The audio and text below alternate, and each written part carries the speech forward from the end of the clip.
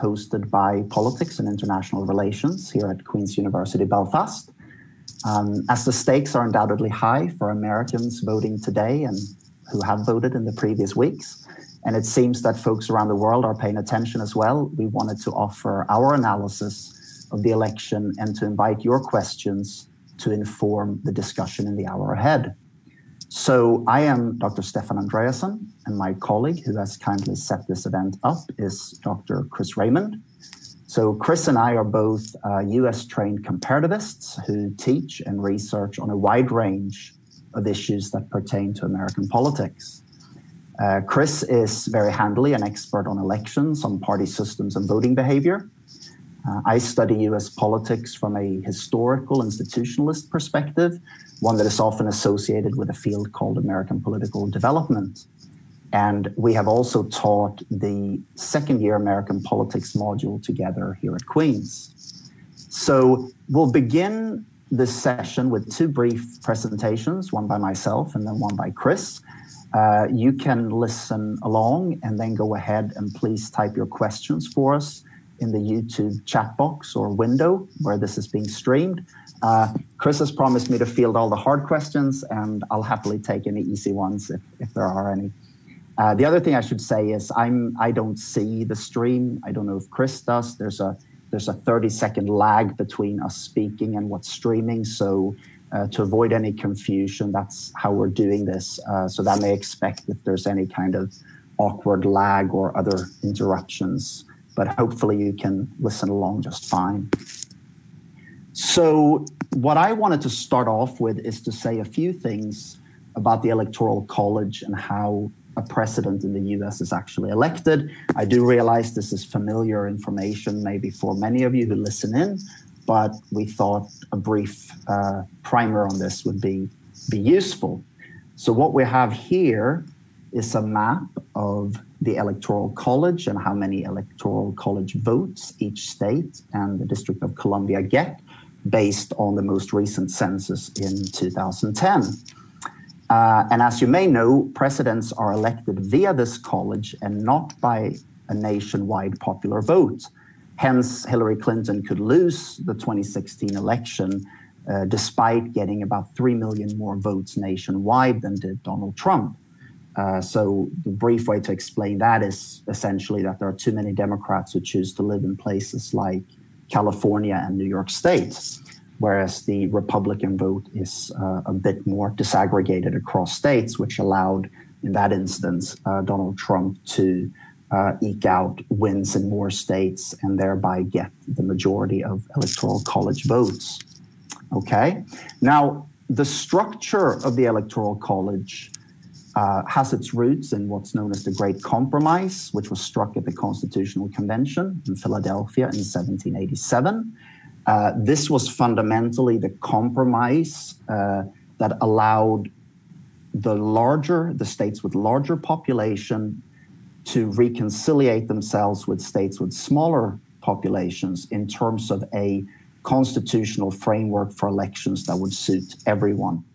So the result of the Great Compromise is the bicameral representation to accommodate again both large and small states that we've had in the United States ever since, whereby the lower chamber, the House of Representatives, uh, is proportional based on the, the relative population of each state, uh, 435 members in total, and the Senate today, based on 50 states, uh, having 100 members where each state gets two senators, right? So there's not a proportional representation. In fact, it's a very unproportional representation in the Senate or the upper house. Okay, there's an interesting context here as well uh, around the issue of slavery and the three fifths compromise and how you uh, count inhabitants for the purposes of representation, but I'll leave that to the side for now. So, what we have then is an electoral college today, based on the 50 states, uh, which has 538 members. So, there's 538 electoral college votes in total. That is the 435 congressional districts, one electoral college vote each, plus the two senators, the two senatorial seats for each state being another 100 electoral college votes, and the District of Columbia, which gets three electoral votes, taking us to a total of 538. Uh, this means then that a winning presidential candidate needs 270, so a simple majority of these electoral college votes to win. Uh, if there's a 269 each tie, uh, the decision goes to state congressional delegations who have one vote each, but uh, that's hopefully something we'll uh, avoid this election as well. So we'll leave that to the side. So the important point here is then that we have 51 discrete elections to elect the president, the 50 states and the District of Columbia. And importantly, in nearly all of those, uh, the election works on the basis of a winner take all system. So whoever gets the plurality of votes in any given state, let's say Texas, wins all the electoral college votes in that state. And again, this is why we can have a situation like in 2016 where the person who gets the most votes nationwide does not get a majority in the electoral college. Okay. And again, the two exceptions to this rule are Nebraska and Maine, where a few of the seats are um, apportioned out according to congressional districts. So those are not strictly winner take all systems, but they also make up less than 2% of the electoral college vote in total. Okay. Uh, the, the, the other thing to say in this regard then is to re-emphasize the disproportionality of the system, which again stems from the fact that every state gets two electoral college votes for their senators, and that's equal across the states, irrespective of the population. So, to demonstrate that, the easiest demonstration is California, which is the largest state with about 39 million people, has about 68 times the population of Wyoming that has less than 600,000 people, which has three electoral college votes. So California, with 68 times the population of Wyoming, gets only 18 times the number of electoral votes. Again, California has 55, as you can see on this map, and Wyoming has only three. Okay, so the other thing to say in respect of that is that this is why we have a discussion about the fact that the Republican Party today has a built in or a structural advantage in the Electoral College. And people like to point this out because they note that um, it has only been in recent times Democrats who have been on the losing end of the stick, where a candidate who gets the most votes nationwide does not win in the Electoral College.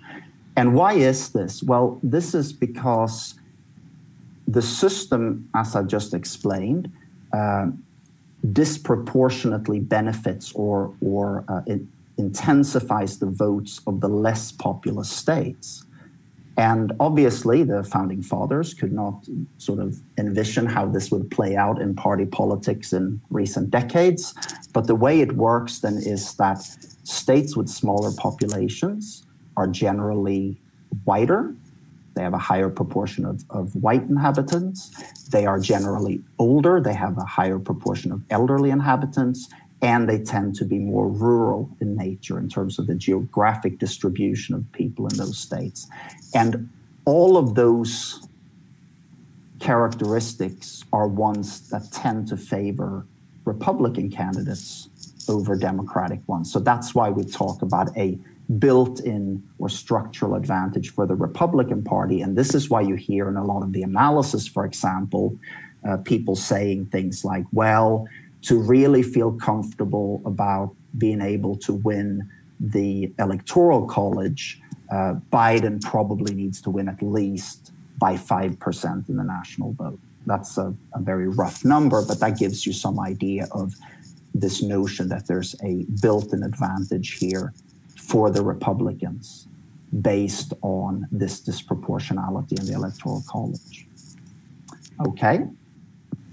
the other thing to say briefly then is that uh, because this is uh, by and large a winner take all system, again, except in Maine and Nebraska, we tend to focus on a relatively small number of states that are called swing states, which means that they could realistically go one way or the other. Everyone knows that Oklahoma and Arkansas and Mississippi will uh, turn out a win for a Republican candidate. And likewise, everyone knows that California and Massachusetts and New York State will be won by a Democratic candidate, as politics look in recent times. So those states are not in play. But the important states, again, are the ones that can go either way. And this is a map, this is the final map of the 2016 election, where Trump then won against Hillary Clinton with 306 to 232 electoral college votes, as you can see here in red and blue.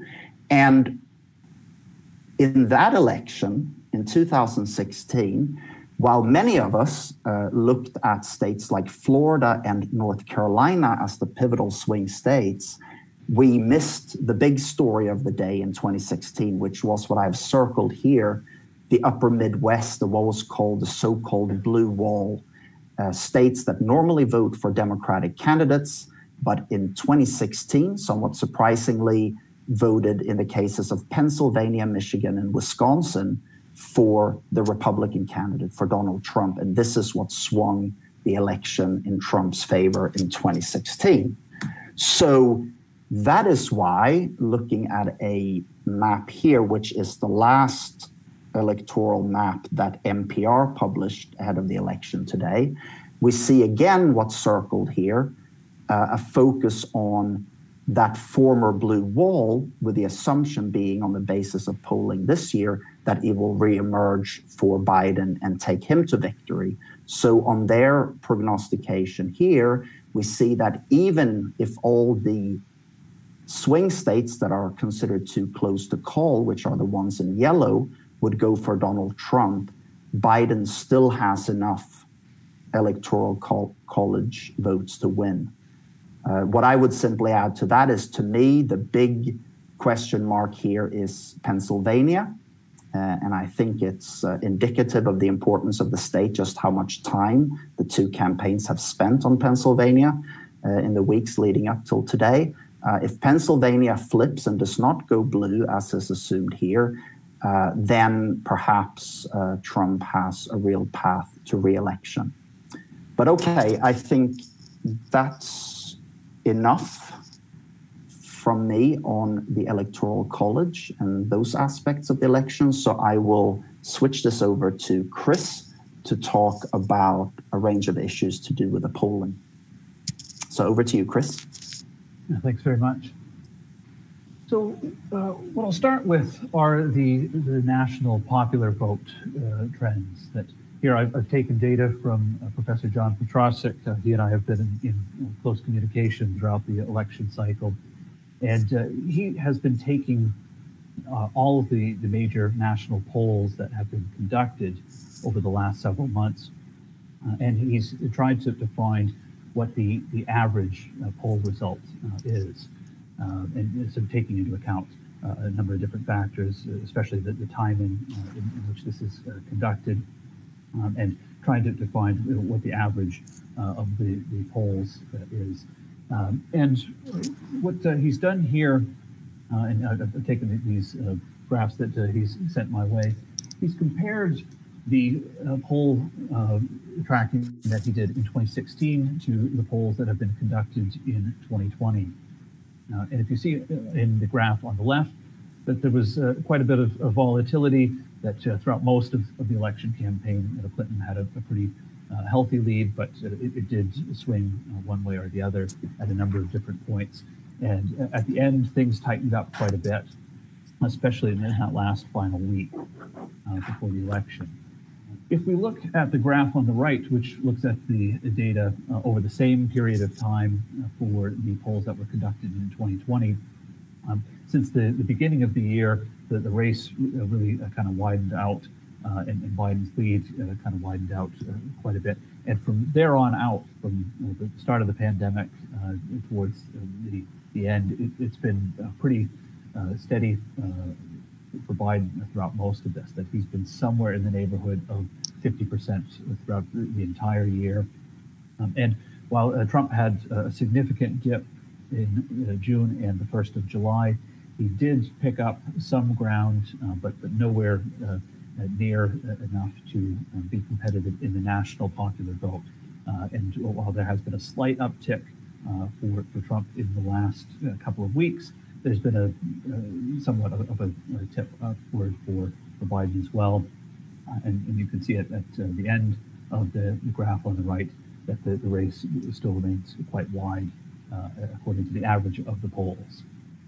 So looking at, uh, at these polls, 2020 does not look to be as close of a race in the national popular vote uh, as it was in 2016.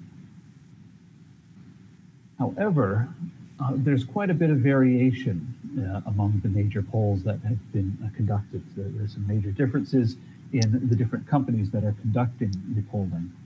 That several polls uh, in the column on the left uh, have, have, got Trump closer to that 44%, 45% range that we saw on, on the previous graph. And, and here the, the, the, numbers will be slightly different from the previous graph because I'm focusing only on the two party share of the, the national popular vote. And so you know, firms like uh, the uh, NBC Wall Street Journal poll put them at 45%, YouGov at 45%. Uh, others uh, like ABC and Washington Post closer to 44% of the two-party vote, meaning that, that Biden would get 56, 56% of the national popular vote. Now, if you look at some of the pollsters on the right, uh, you've got a number that show a much closer race. Uh, that Rasmussen and the Investor uh, Business Daily um, uh, polls have uh, Trump much closer to, to, Biden, 49 and 48 percent respectively of the two-party vote. And, and, while these polls historically have shown Republicans doing better in them than others, they're not alone. That other polls by The Hill and Harris X have um, Trump on 48% of the two-party vote. Emerson have him at 47%. Uh, Fox have him at 46%. And if we look at the most accurate pollsters from 2016, and I have those figures uh, in the right, uh, in, in, the parentheses, uh, I have those underlined. The four most accurate pollsters, uh, of the four most accurate pollsters, you've got ABC and the Washington Post, uh, slightly underestimated Trump's share of the two party vote at 48% in, um, in 2016. Uh, so they're one of the uh, pollsters suggesting an easy Biden win. But the other three closest polls in 2016, Rasmussen, Investors Business Daily, and Fox, uh, Rasmussen being the absolute closest by uh, fractions of, of, a, of, a, percentage point off. These three are in the column suggesting that we've got a closer race in, uh, in 2020 than uh, those in the left-hand column. So uh, I'm not sure who's going to be more accurate here, but we, do have some divergence. Uh, so the mean might be distorting our ability to perceive which way that this is actually going to go. If it's going to be a blowout, as the uh, polls in the left-hand column suggest, or if it's going to be a much closer race in uh, as those in the right-hand column suggest. Uh, so regardless of, of, who wins, somebody's going to have egg on their face when predicting the national popular vote.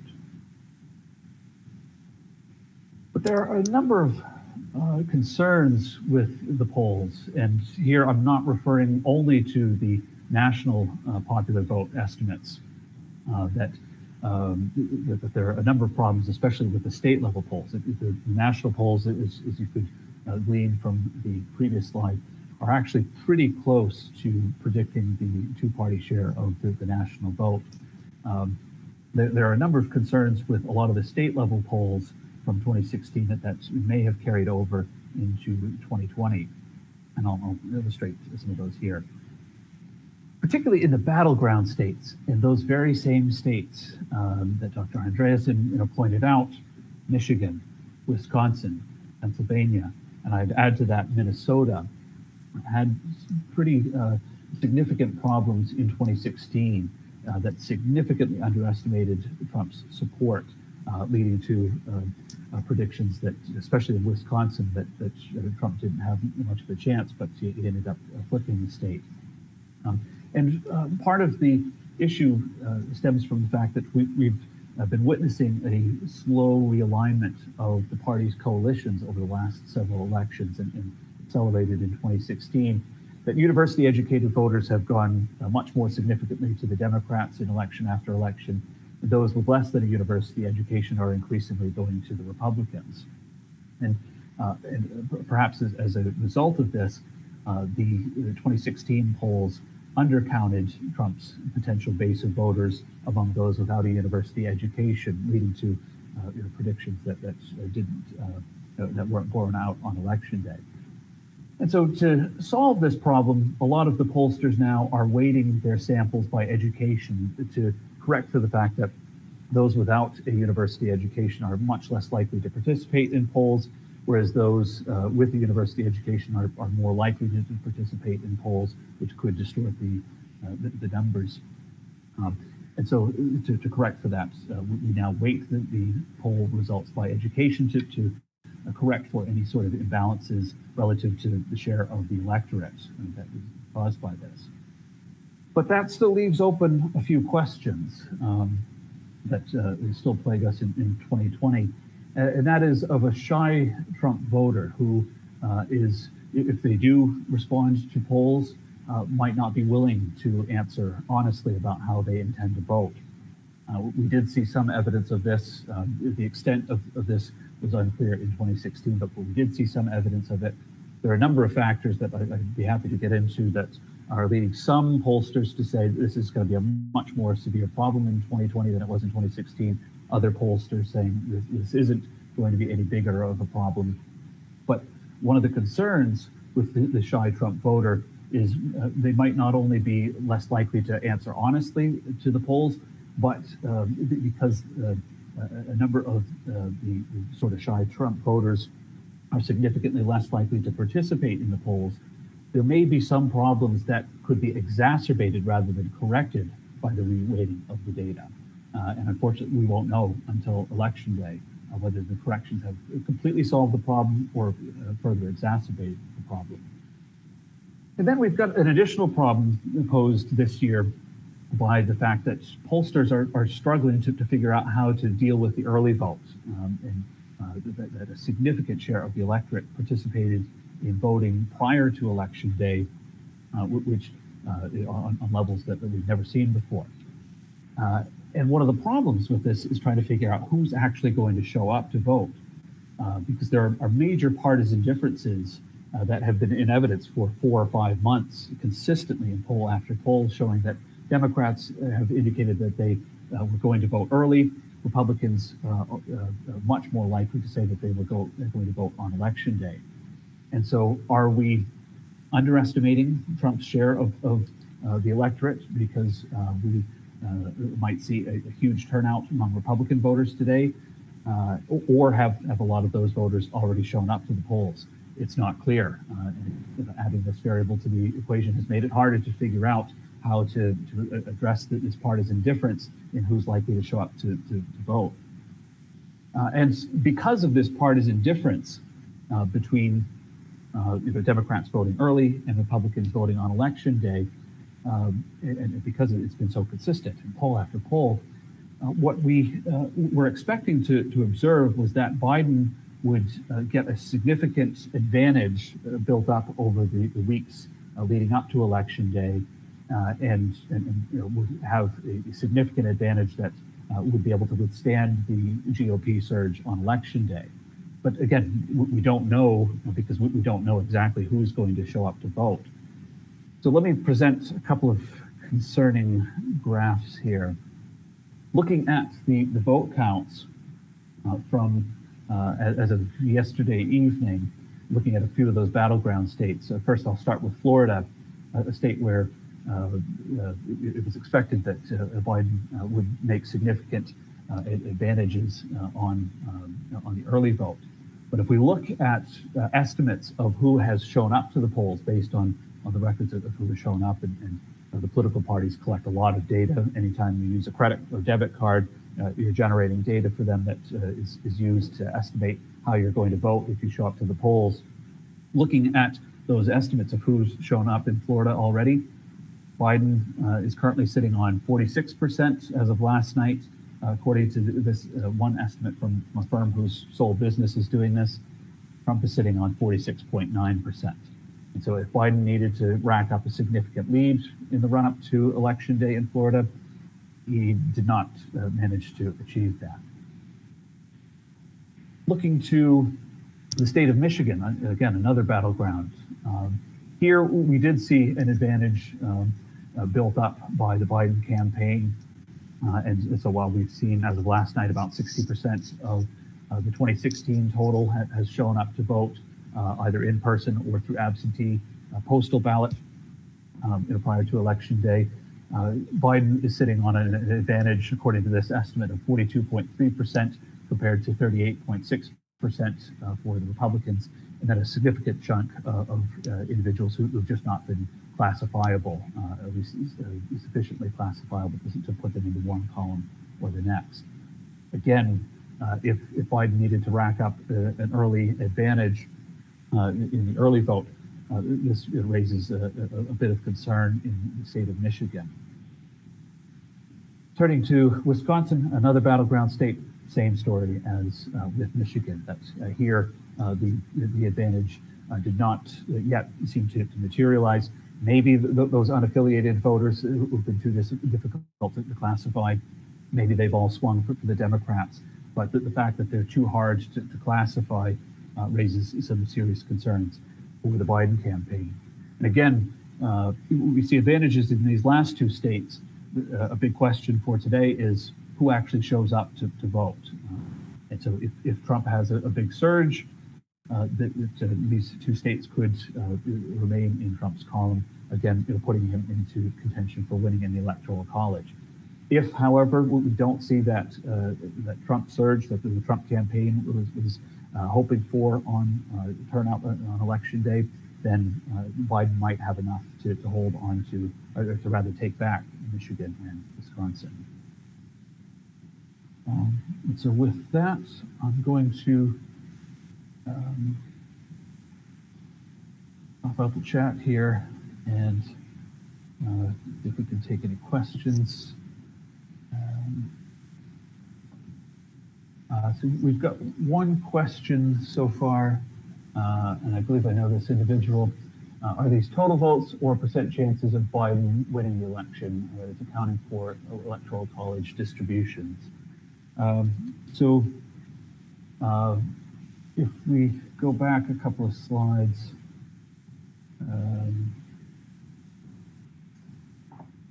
are these total votes or percent chances? Uh, yes, th these were total votes um, that, that uh, the total uh, votes in this graph here, uh, but not yet allocating those who um, um, who had indicated uh, that they, they, didn't have a preference as of um, uh, as of the time of, of, the sampling. On this graph, uh, so I'll pop this out. Um, on, on, this graph, these are percentage of the two-party vote. So, so just focusing on Biden and uh, Trump's vote, or, or Biden and Clinton's vote for the 2016 comparison. Um, bring it over to you. Um, we've got a, oh, sorry, we've got another question here uh, from Joshua. Coming back to what we discussed in class yesterday, how reliable do you think calling a Texas a toss-up is? Uh, well, let me turn that over to you, uh, Dr. Andreasson. Um, what uh, sort of evidence do you see um, uh, leading you to, to, believe that, that Texas, uh, or, or, maybe you disagree with, with NPR's assessment, uh, what evidence do you or, or others see suggesting te Texas might belong in the toss-up category this time around?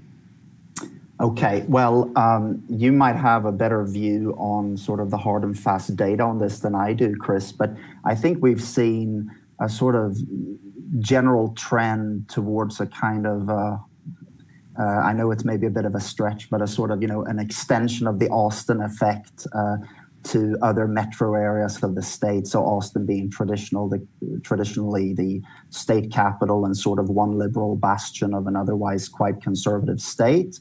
Uh, it looks like certainly in metro areas like uh, Houston, if maybe less so in Dallas, uh, we see some of that move as well.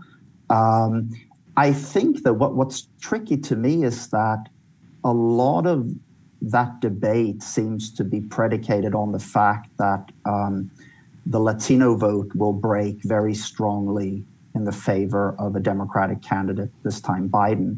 And uh, I know you probably have some thoughts about that, Chris, but that seems to me to be maybe uh, A, the most important assumption behind all of this. So, crudely put, as Texas becomes more and more Latino and less and less white, we will see it inevitably move into the blue column. Um, but B, the difficulty with that assumption perhaps is that um, the gain for Democrats simply by the state becoming more Latino uh, might be less than what is commonly assumed. I don't know if you agree with that, Chris, or not.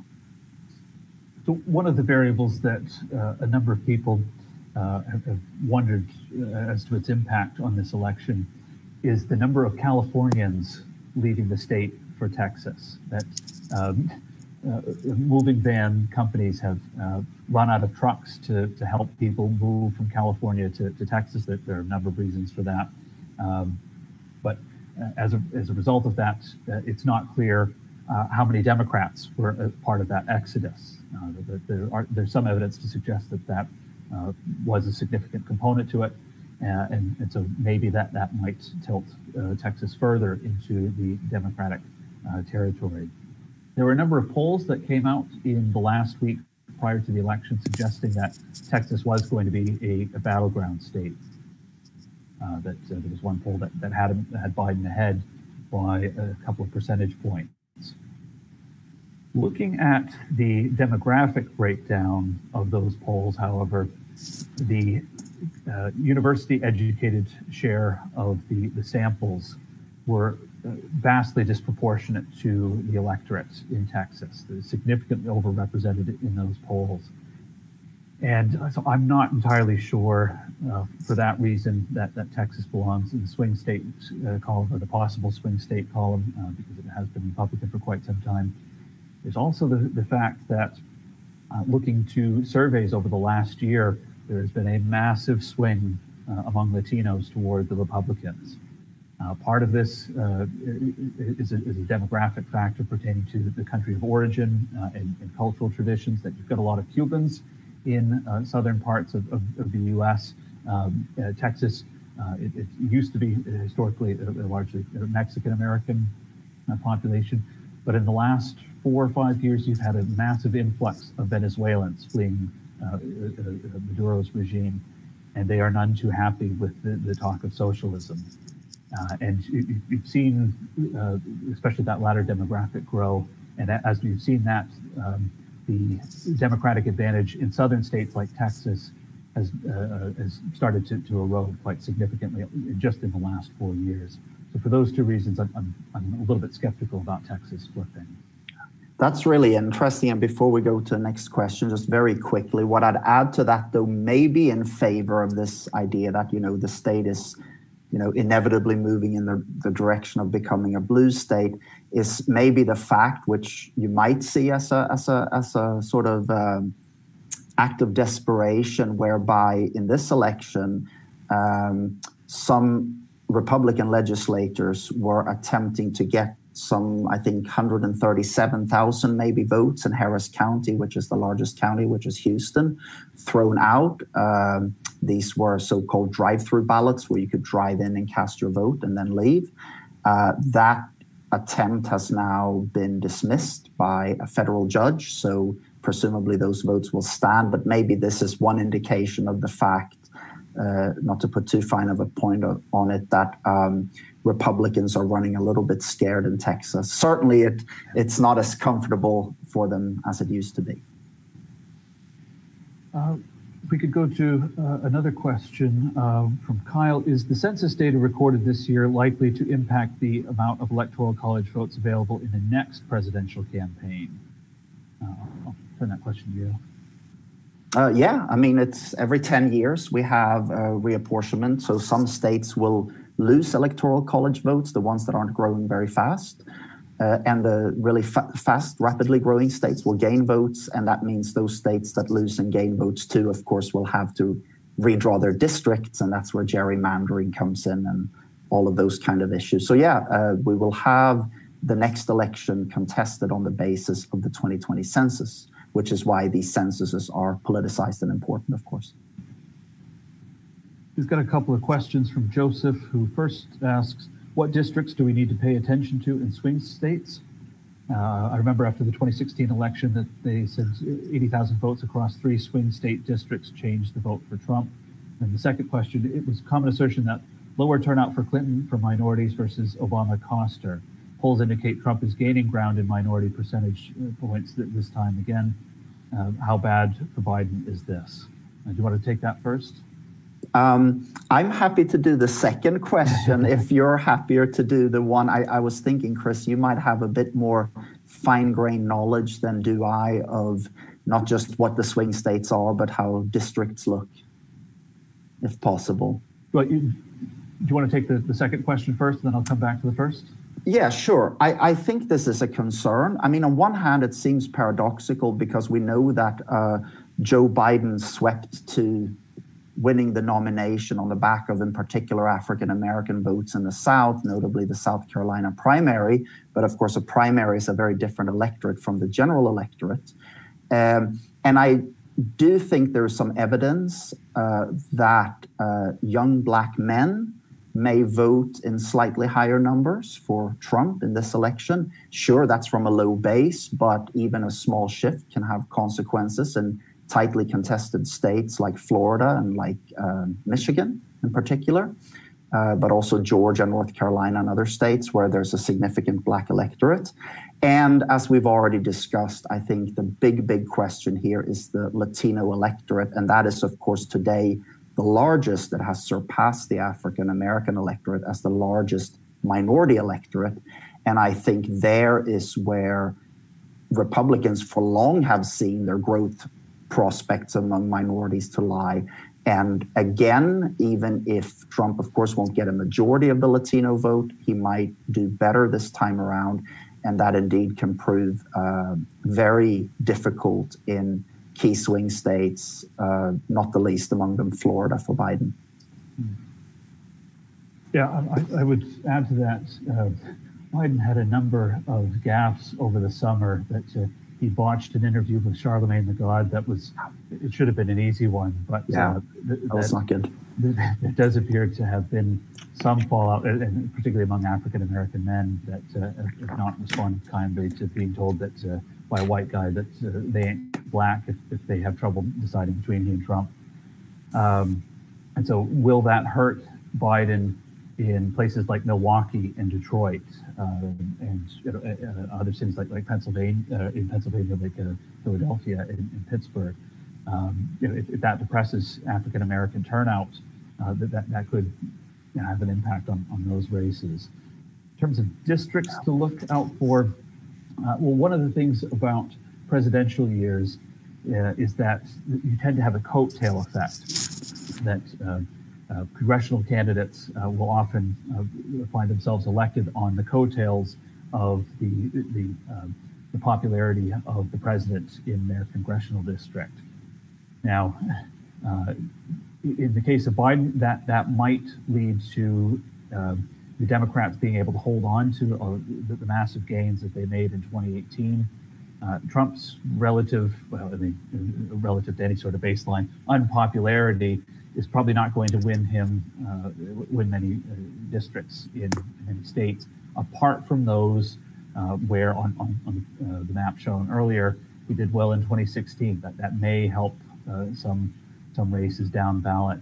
in terms of swing districts to, to look for, if, if, there is one district that I can identify, uh, it would be I'm blank on, on, the exact number of the district, but there's a district um, in Western Pennsylvania that had a special election um, in, in, 2018 that, um, uh, that where uh, there was a, a, moderate Democrat who, who unseated a Republican in what was a, a very friendly um, district to, to Trump. Uh, and there's a tight race between uh, the incumbent Conor Lamb and uh, Sean Parnell, who's looking to, unseat him uh, on the back of, Trump's vote. Uh, additionally, you've also got uh, a, a, couple of um, districts, and, and, Dr. Andreasson pointed this out earlier, because Maine and Nebraska split their votes. Uh, it could be the, the, case that the congressional district for Omaha in the state of Nebraska could vote for a, a Democrat, whereas the rest of the state's electors go to, to Trump. Uh, and uh, in the state of Maine, uh, the majority of the state of Maine is very heavily Democratic, except for the con- second congressional district there. That, um, uh, that, that, that district tends to be more conservative. It's, it's a, we could see Trump uh, steal a, an electoral college vote in, in the state of Maine uh, and, and Biden returning the favor in Nebraska. Apart from that, uh, I'm, I'm, not sure about too many of the, uh, the, district level races to, to pay attention to, but th- th- those would be the key ones I, would focus on. Uh, we have a, another question from Vivian. Uh, hi, both. Thanks for this. Could you tell us more about the congressional races? How do you expect them to go? Um, it, from a, a, general sense, um, uh, do you have a, uh, any comments to, to add to that? Yeah, thanks, Vivian. Um, I mean, the brief comment for me is that I haven't looked at it much. Uh, this might be a uh, uh, uh, uh not me, um, not intended as a flippant answer about this, but um, uh, Nate Silver and others seems to have the um, Democrats retaining control of the House at about 97%.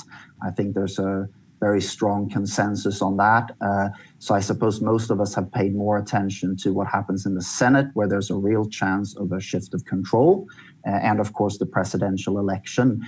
Um, what I've seen uh, is that the suggestion seems to be that the um, that the Republican candidates in the House who are contesting suburban seats in the larger metro areas uh, where they where they still have seats. Uh, they lost quite a few of those in 2018, and evidence seems to suggest that that might continue.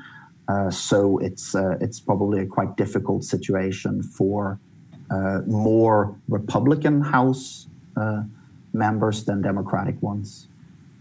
I don't know if you have something to add to that.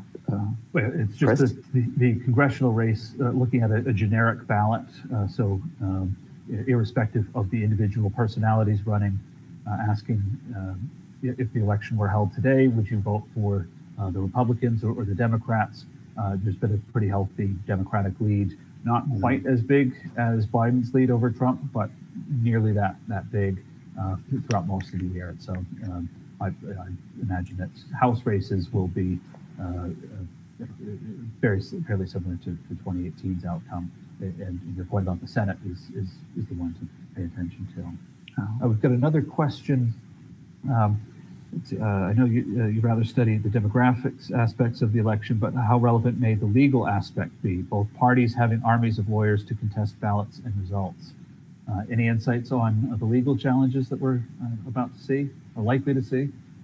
Well, I think the the, the comment here is is uh, is well placed in the sense that indeed uh, both campaigns have uh, veritable armies of lawyers that are standing by uh, and and ready to enter the fray if if we have uh, contested uh, outcomes across states and districts and so on. Um, I think we're not likely, uh, maybe we shouldn't talk about out, yeah, uh, likely outcomes, but I suppose we're not likely to see a uh, Trump landslide on the basis of the polls we've seen so far. Uh, if we see a Biden landslide, maybe it's the case that uh, some of those points about contesting results uh, in the courts become moot. But anything beyond that, any sort of slight lead or what looks like a slight win for Biden or Trump, and we're likely to get that contestation. And uh, 2000 isn't that far back in time, where it took uh, more than a month and a Supreme Court decision, of course, for the outcome of the election to be decided. And uh, that specter of the Supreme Court, of course, getting involved becomes even more uh, tricky this time around, given that we had the very controversial rushing through of a confirmation of a new Supreme Court Justice, Amy Coney Barrett, uh, just before the election, or in the middle of the election, you could say, as people are already voting. So uh, I think um, anything that isn't a decisive win, and I suppose a decisive win is more likely to mean a, a decisive win for Biden, and we might have a very tricky set of circumstances to, to contend with. Both parties have armies of lawyers chomping at the bit to, to argue that the, the cases in all levels of, of the courts. Um, and so if if this race is close uh, in any state, there will be legal challenges to the full extent of the law. So uh, prepare for uh, a long set of challenges. Uh, another question from Connor. If the Dems take the Senate, do you imagine an increased use of the nuclear option to force reforms to filibuster, electoral college, etc.? Hmm. So, could you repeat the question again? Sorry. It... Yeah. So, if the Democrats take the Senate, uh, do you expect reforms to the filibuster, ending the filibuster? Uh, any chance of reforming the electoral college through a constitutional amendment? Well, okay. So the first question is, well, I mean, if if I I, I think, and it's just a prediction, but uh, if the Democrats take both the presidency and the Senate uh, and enjoy that a majority unified government across the board, I think those questions will will die down. Uh, there are still significant risks to to tinkering with those uh, rules and regulations of how the Congress and other branches of government conduct their business. Uh, the other part of the question was well, about the, the electoral college. Yeah, so the electoral college. I mean, this is probably the amendment that has been spoken about and introduced more than any other to somehow get rid of the uh, electoral college and have a different system of electing the president. Given that it seems very confusing to people, and and certainly Democrats object to it, uh, given how things have played out. But look. Um, as you said, it requires a constitutional amendment, means two thirds of states have to ratify. 50% of the states have no incentive of doing so because they are disproportionately represented. So I don't see that going anywhere. I think they would have to look at other ways of getting around that. Uh, so just as you know, making other decisions about how you allocate your votes. But the, I think the electoral college is there to stay. I, uh, the only thing I would add to that is uh, if we do have the, uh, a repeat of 2016 in which Trump loses the popular vote quite significantly but wins in the electoral college, expect uh, more attempts to, to, find creative ways to get around the electoral college. I, I uh, wouldn't be surprised if there's some sort of attempt. No, no, I agree. I agree. And, and again, it would have to be those creative ways because the amendment route is, I think, nearly impossible. Hmm. Uh, another question from Samuel. Uh, what effect could attempted voter suppression and uh, voter purges have in Republican leading swing states of Texas and Georgia, two states where Dems are relying on minority cities in cities to win? Um, well, there's there, there's a long and murky history of this, right, in American politics. Um, after the uh, civil rights legislation was passed in the mid 1960s. We got the Voter uh, uh, Rights Amendment in 1965 that was um, intended to protect primarily African American voters in the South from attempts to uh, suppress their vote. Uh, that uh, Voting Rights Amendment was essentially hollowed out by a Supreme Court decision in, is it 2010, Chris? Uh, Holder versus uh, versus Shelby County, but some sometime around 2010 that was hollowed out, and the suggestion is that several, in particular, southern states with large African American electorates have again amended uh, election laws um, with a view to, or at least that's the accusation, to dilute or somehow suppress uh, or negatively affect the African American vote. And I think absolutely, um, to the extent that this happens, it could have a marginal effect that could tilt results in states like Florida, North Carolina, Um, Georgia, certainly, again, all states with large African American electorates, maybe less so in Texas. But um, it's a real issue. There's, a, again, it's a long and murky history there. And uh, yeah, it's um, that, that could factor in indeed. I'm excited to get to this next question because it's the one on everybody's mind. Uh, what about peaceful transfer of power if Trump loses? Uh, how do you think it will change the way the legal aspects of how elections are held in future in USA? do you want to start on that one, Chris, or you don't so have to? I, I actually, I, I, don't see him clinging on to power uh, as much as, as is a number of people are, are concerned. He, yeah, he's not the, the sort of person who takes well to losing. I, I, I don't see him giving up uh, you know, with, with, a huge fight. Um, you know, certainly the, the, party is going to be much more interested than, than even he is. That the party is is concerned with, holding on to power even more than, than he is. Um, you know, it, would be a big hit to his ego, but um, it, it, it'll be 2000 over again. The, the, the party machinery will, will, come into effect because the, the party's you know, very much tied to, to, holding on to power, even more than, than Trump is. Uh, my concern is more the, the street level violence that um, we might see. I'll leave it at that. Yeah, I think the, the last point here, Chris, is, is for me what's really important. I, I, I think at the end of the day, you know, this will play out if it comes to that you know, legally in the courts and decisions will be taken accordingly on, you know, the transfer of power and we'll have whoever is legally deemed to have won the election uh, installed come January. I, I don't have much d- doubt about that. But I do think, you know, we've we've seen the specter already of, you know, the nation's capital, Washington D.C., boarding up shop fronts and so on in, in, in anticipation of unrest, and not only in Washington for that matter. We have the specter of perhaps, uh, you know, um, groups of heavily armed men and I suppose some women as well, uh, showing up at polling stations and all the rest of it. And we know the country is terribly, terribly divided at the moment with a lot of guns uh, in circulation. I think the statistic I've seen is that there has been, uh, since the COVID lockdown, um, there's been 5 million new gun owners in the United States. That's about half the population of a state like Illinois. So that's, uh, that's a disturbing kind of context in which to have a contested election where there's no sort of immediate closure in terms of who has won and who has lost. Um, yeah, I'll leave it at that as well. Glad you brought up the point about 5 million new gun owners. That, uh, uh that's added another variable to, to the equation.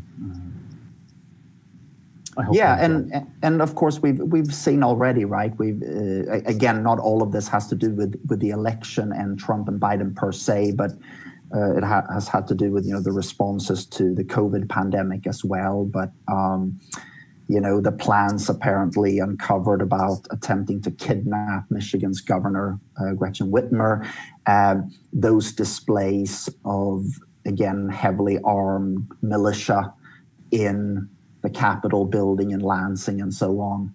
Uh, that's um, that kind of takes, I think, this election into certainly uncharted territory in modern times. I mean, we had a very turbulent uh, set of circumstances around the 1968 election, for example, but nothing quite like it since, I would say. So we've got a, question uh, regarding referendums and initiatives. Uh, I'm not sure if you've been paying close attention to these, but uh, uh, uh, as with any election year, there are also a number of referendums initiatives in a number of states or districts. Are you aware of any interesting or enjoyably bonkers initiatives or referendums? Help, Chris. This is one maybe for you. I, I, I have not really followed that this time. I mean, we, we obviously have over the course of election cycles some uh, initiatives that end up being quite significant in terms of uh, reshaping politics, sometimes locally, but sometimes nationally. But I, I'm not up to that this time around. So I don't know if you are, Chris. The only one that's come to my attention uh, is there's a referendum in California to uh, eliminate um, uh, legal restrictions for racial discrimination. Right. Uh, and that one is uh, be because uh, there are uh, efforts to try to um, engage in, in equity legislation that are constitutionally prohibited by California's Civil Rights Code.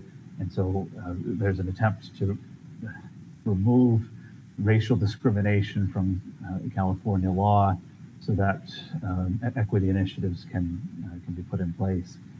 I have, I, I, I actually, I, was going to say I, have no idea how that's going to turn out, but I, have seen one poll that suggests uh, a plurality, at least as of a couple weeks ago, we're not in favor of that one. I'll leave it at that. Okay. Uh, anything you want to add? No, not really, because again, it, it's just not something I've I've kept abreast of uh, in this election cycle. Really, um, I don't know if there are more questions. Otherwise, should we say something about the Senate? Maybe. I mean, that's. Uh, so we've got uh, one more question. Sure. Um, the number one issue in this election, according to Pew Research for the electorate, is the economy. Uh, GOP have traditionally owned this issue. Uh, have this year's events changed this? Could it be long term? Okay. Um, depends on the. Let, us just assume if if Trump loses, I suppose it'll depend on um, how the leadership in the GOP responds. Uh, what sort of leader figures emerge, let's say post Mitchell at some point, and obviously post Trump. But um, the one thing I'd say on this question is it's an interesting one because one of the things that's confused me a bit, if, if I read this correctly, and, and you can correct me, Chris, if I don't, is that if anything, it seems that uh, you know Trump has had quite a few disadvantages in terms of polling and public opinion and so on. But you know his handling of the economy up until the COVID pandemic hit, and maybe even in terms of some of the views on him versus Biden in terms of engineering a recovery, Trump seems he probably does better on those economic issues than on many other issues. Yet he seems to, relatively speaking, neglect those issues quite often in, in this campaign and talk much more about, for example, COVID, where I think people view his role and his responses and his leadership much more negatively. So it's been a kind of curious thing for me to understand why relatively speaking, Trump has spoken so much about COVID. I mean, obviously, it has to be addressed, but less maybe about the economy, uh, where maybe he has a comparative advantage. But I'll, uh, I don't know if that's a good answer, but I'll, I'll leave it at that. So, despite the, the pandemic's effect on the economy, um, in poll after poll, he still has a, a majority approving of his handling of the economy. And so, I think that, that if he manages to eke out an electoral college win, uh, it, would have something to do with that, that uh, he's still uh, favorably viewed on, on that. And that's the one issue that he's, he's led uh, Biden on in, in any of the, the, sort of matchups that I've seen. No, that's a good point. So, so really, if, if, if we get a, a, a Trump win here tonight, uh, despite the polls, it's maybe again back to Clinton's quip about it's the economy stupid you know, in a slightly different context this time. Uh, shall we take one more question? Uh, sure, yeah, we, we have time. That's fine. Uh, so, from Samuel, if Trump loses, could the Republican Party fracture between the Trump wing and more traditional establishment wing?